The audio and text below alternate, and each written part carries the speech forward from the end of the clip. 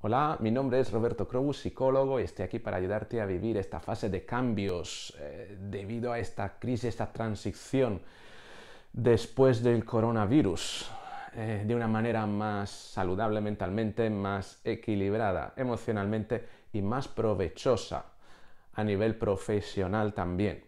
¿Por qué? Porque eh, pese a la situación y pese a lo que están contando, va a haber oportunidades y hay que saberlas leer para ubicarse y estar preparados y aprovecharlas, ¿no? Este vídeo, si diriges personas en empresas o si tienes un jefe, si es que trabaja, tienes un jefe seguramente, o si no trabajas pero aspiras a posiciones de responsabilidad próximas en los futuros trabajos que encuentres, este vídeo te va a interesar. Te va a interesar porque vamos a hablar del tema de la confianza lo importante que es ganarse la confianza de las personas, lo fácil que es perderla, pero lo difícil que está siendo sobre todo conseguirla en tiempos actuales. ¿eh?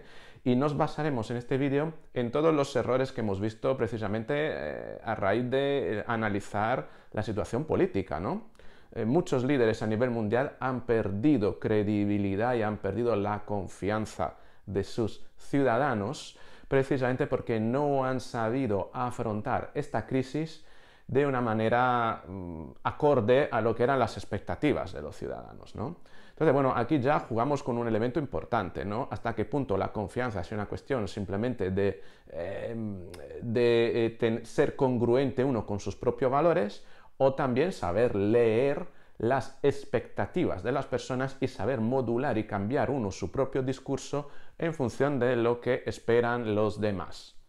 Eso es un elemento muy, muy, muy importante, porque uno de los peores, una de las principales de los peores errores que han cometido muchos líderes en esta crisis, a nivel político, pero no dudo que también a nivel empresarial, si no ha sucedido todavía, porque las empresas están todavía en fase de tapar hemorragia de emergencia, pero posiblemente va a suceder en una segunda fase de recuperación. El principal error ha sido negar la evidencia, negar la realidad, no reconocer la realidad de los hechos.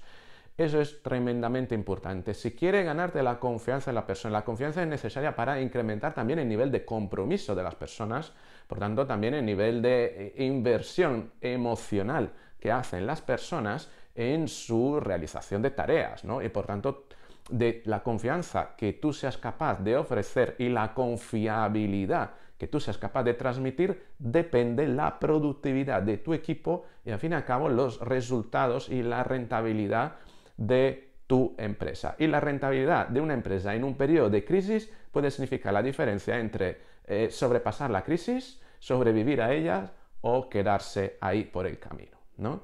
Entonces, pero claro, ¿qué vamos a hacer para eh, gestionar eso y, reconocer esa realidad? El problema principal es que ya no hay, ya no existe una realidad, una sola realidad. Cada cual dibuja la realidad en función de sus percepciones. Eso es algo muy distinto respecto a hace 30, 40, 50 años. ¿Por qué está sucediendo esto? Porque la información es tan fragmentada y hay tan cantidad de información y tantas fuentes y tantos canales que para una persona común es difícil reconstruir el puzzle porque mientras lo reconstruyes, el puzzle primero eh, está compuesto de muchas piezas, muchas más. Cuanta más información y más fuentes, es como si tuvieras que construir un puzzle de más piezas. Si hace 30 años recopilar información para construir tu mapa de los acontecimientos podía implicar, hagamos un ejemplo, de 5 o 10 piezas de información y con eso te bastaba para componer el puzzle, ¿qué ocurre hoy? Que a través de redes sociales y la gran cantidad, la disrupción de información, de eso también te hablé en otro vídeo donde te enseñé la curva de creación del conocimiento, como en los últimos 100 años hemos duplicado el conocimiento y la información que gestionamos eh, respecto a los últimos 11.000 años de evolución de la historia humana. 100 años contra 11.000, ¿no? Por tanto, esa gran cantidad de información, ¿qué es lo que hace? Que el puzzle se componga de muchas más piezas. ¿Y qué ocurre cuando queremos componer el puzzle de muchas más piezas? Que vamos a necesitar mucho tiempo, ¿verdad? Pues imagina lo que significa de componer un puzzle de 5 o 10 piezas a tener que componer un puzzle de eh, 1000 3.000 o 5.000 piezas. Necesitas tiempo, pero ¿qué es lo que ocurre? que al necesitar tiempo, eso requiere un esfuerzo cognitivo, una atención importante. ¿Y qué ocurre? Que precisamente la gran cantidad de información y la, y la, gran cantidad de cosas que tenemos que hacer a lo largo del día hace que no dispongamos de ese tiempo. Por tanto, nos vamos a quedar con piezas de información fragmentada. Y luego cada cual comunica aquello que le interesa, ¿no? Por tanto, es por eso que hemos visto líderes que comunicaban una cosa porque era afín a su discurso y otros líderes que, líderes que comunicaban otra cosa. Y esa incongruencia al final que genera, pues genera que el, ciudadano de a pie no entiende qué es lo que está pasando y para ante una disonancia cognitiva, es decir, ante una situación que, en la que la información Em, no es coherente, rechaza la información directamente, desconfía de los dos. Esto puede suceder también en las empresas, ¿no? Tú como líder, como, como gestor de personas, cuando tengas tu discurso para ofrecer medidas para hacer frente a la crisis que, que es posterior a esta pandemia, ¿qué es lo que va a ocurrir? Pues te va a ocurrir que tendrás que convencer a las personas, ¿no? Tendrás que crear un discurso coherente. Eso es importante, ¿no? Ser coherente uno con los principios eh, y valores, pero también es cierto que la situación ha cambiado. Entonces, el mayor error que se puede hacer en estas situaciones, cuando tratamos de ganarnos la confianza en las personas, es em, crear uno un discurso autista, por así decirlo, un discurso desde uno mismo y trasladarlo a los demás. ¿Por qué? Porque si el sentir de la población, es decir, las piezas de información que la gran mayoría de las personas que te siguen eh, dispone es diferente, se genera esa disonancia cognitiva y no te van a creer. Entonces, ¿qué es lo que puedes hacer para eh, ganarte la confianza y para, sobre todo, leer la realidad. Primero, eh, lo que yo te sugiero es que no trates de em, crear necesariamente una realidad objetiva. ¿eh? Tampoco que trates de recrear una, digamos, de trasladar solo lo que es tu realidad a los demás. Hemos visto ya el primer punto que trasladar tu realidad a los demás no funciona si la realidad que perciben los demás es diferente. Por otro lado, si tú tratas de crear una realidad, digamos, exhaustiva y objetiva, es posible que también se diferencie mucho de lo que es la percepción de la realidad individual de cada cual, ¿no? Entonces, claro, si por un lado no te, no te conviene o puede ser contraproducente trasladar tu discurso, tu visión de la realidad, por el otro, componer una realidad objetiva no te puede valer o podría darte algún riesgo porque eh, la percepción individual de cada cual es, eh, puede ser diferente, ¿qué hacemos? ¿no? Pues muy sencillo. Eh, primero, no caer en el error de tratar de trasladar una realidad. No tenemos por qué trasladar una realidad. El primer paso que es importante hacer en ese sentido es escuchar la realidad de las personas. Es decir, en lugar de hablar, en lugar de mm, empezar a, vomitar ideas y tratar de tapar agujeros de información poniendo uno la propia, parar y escuchar qué es lo que sienten los demás. Em, escuchar cuál está siendo su realidad. Es ahí cuando tú te puedes hacer tu propio puzzle de la realidad individual de tu gente, ni de la realidad, digamos, objetiva y exhaustiva que puede estar fuera de, tu empresa o del colectivo de interés, ni tu propia realidad. Lo importante es que tú trates de hacerte una idea de cuál es la realidad percibida por parte de tu gente y a partir de ahí construir tu discurso a partir precisamente de esa realidad. ¿eh? Eso es el elemento importante para ganarte la confianza.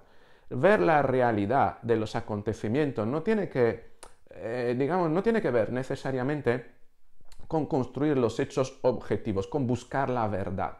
Porque, repito, la verdad posiblemente no exista o lo que tardemos en averiguarla puede ser, eh, puede implicar mucho tiempo y no disponemos de tanto tiempo para tomar medidas.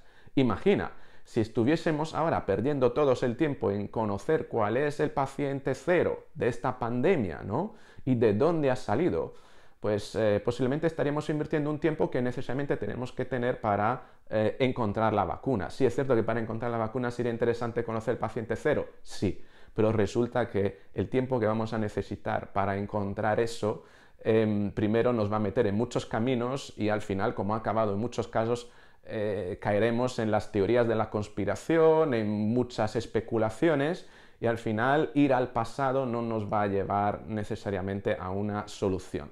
La solución no está en el pasado, la solución está en el futuro, pero para eso necesitas leer el presente y leer sobre todo el presente de la realidad de tu gente.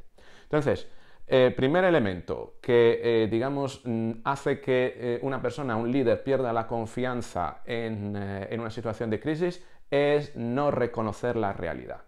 ¿Qué entendemos por realidad? Para resumir, la realidad no es necesariamente la realidad objetiva, sino la realidad de tus propios seguidores, la realidad de aquellas personas en las que han de influir tus decisiones, por así decirlo. Mejor esta segunda definición que los seguidores. Los seguidores pueden ser los que te votan o los que están de acuerdo contigo. No, son todos los que de alguna manera resultan afectados por las decisiones que tomas dentro de la empresa. No solo dirigirte a tu colectivo, digamos, clientelar, ¿no?